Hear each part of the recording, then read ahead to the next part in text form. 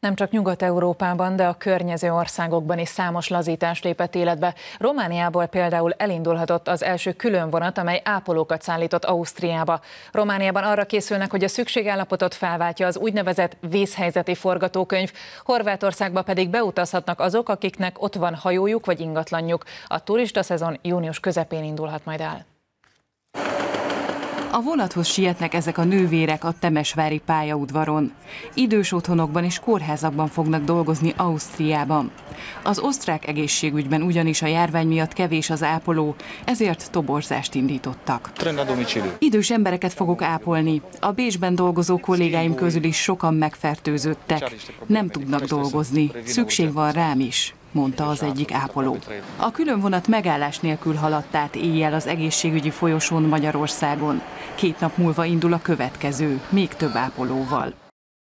Romániában közben elkezdődnek az enyhítések, de még nem világos, hogy milyen feltételekkel, mondta az M1 bukaresti tudósítója. Megnyitnának a fogászatok, a szépségszalonok és a parkok, és a kormány azonban a lazítások mellett továbbra is fenntartaná a korlátozások egy részét, például feltételekhez kötnék a települések közötti közlekedést. Ehhez törvényt kell elfogadnia a parlamentnek péntekig, abban írnák elő a pontos szabályokat.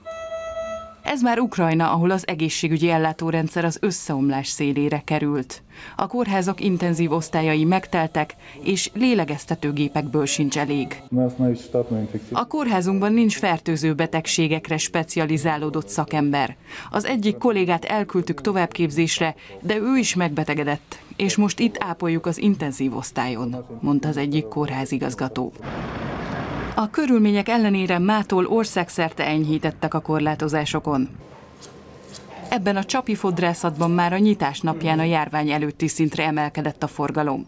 Nem szabad, hogy sor legyen benne, csak beirat, beiratkozásra jöhetnek. Kint kell várakozni, esetleg valaki hamarabb jön. Fertőtlenítünk, surulunk gyakrabban, ajtót nyitva tartjuk, még lehetséges. Már nagyon vártuk, hogy kinyissunk, mert két hónapig otthon, majdnem két hónapig otthon voltunk. Horvátország is fokozatosan nyit. Hétfőtől a külföldi állampolgárok is beléphetnek, igaz egyelőre megkötésekkel. Hatósági engedély nélkül is beengedik azokat, akik az országban ingatlannal vagy hajóval rendelkeznek, vagy például temetésre mennek. Azoknak, akik személyes vagy üzleti útra mennek, engedélyt kell kérniük.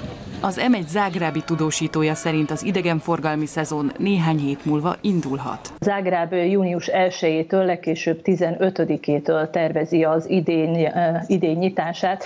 Sok vendéglátó helynek pedig addig nem éri meg kinyitni, míg nincsenek turisták. Horvátországban évente 20 millió turista látogat, ebből 10 millió júliusban és augusztusban, a belföldi turisták aránya pedig nem éri el a 20%-ot. A Horvátországnál kevésbé fertőzött országokból, így Magyarországról vagy Csehországból a turisták várhatóan autóval és repülővel is beutazhatnak majd a horvát tengerpartra, egy úgynevezett egészségügyi folyosón keresztül.